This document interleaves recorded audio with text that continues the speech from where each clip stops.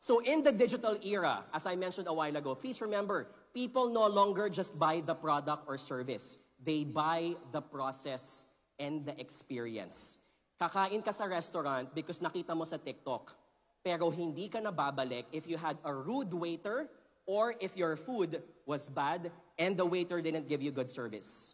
The same thing also happens for us. The number one purchase driver for services, including insurance, I need to highlight this, is going to be your speed of response. Amen.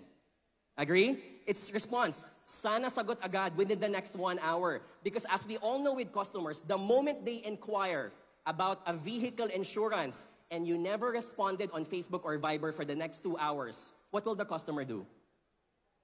They move on to the next one available for them. The speed of response is always going to be critical. The second is the quality of the info.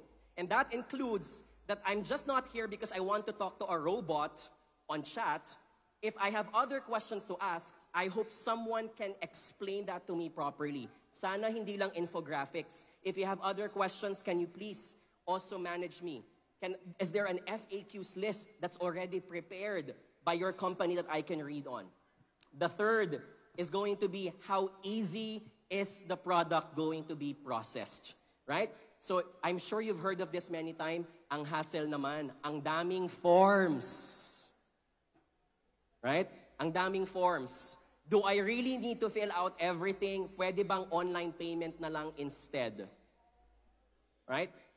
This is just me, but I still get disappointed sometimes. For example, do you notice how the Philippines is still oriented in paying in checks? Right? And in some countries, that's already an obsolete part. Like, checks are so 1990s. This is just me. Right? When COVID 19 happened, wired remittances or wireless transactions are the name of the game. If we can move towards that so we can get things more done quickly, better as well. And please, payments are like raffle. The more options you offer, the more you capture the hearts and the sentiments of the customers as well. The name of the game is not just how good your product is, but how good the experience is before they buy and after